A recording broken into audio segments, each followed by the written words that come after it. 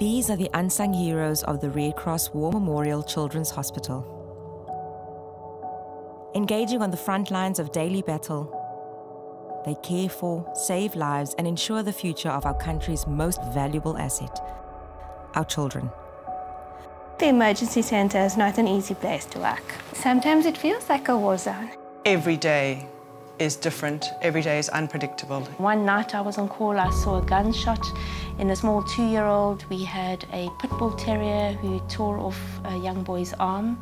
And we had a shack fire where a young child actually died. A blink, a second, is life. It can be terrifying, but it can also be very rewarding. Kids are amazing. They bounce back incredibly. They just have this, this magic that they bring to, to everyday and the ordinary life. An unsung hero. I don't think I'm a hero. You're helping children. How can you be a hero in the, that situation? I don't see myself as a hero. We do this because we're dedicated to this hospital. We need to continue with this work. With the help of funders, um, as well as the government, we can actually save kids' lives and make a difference.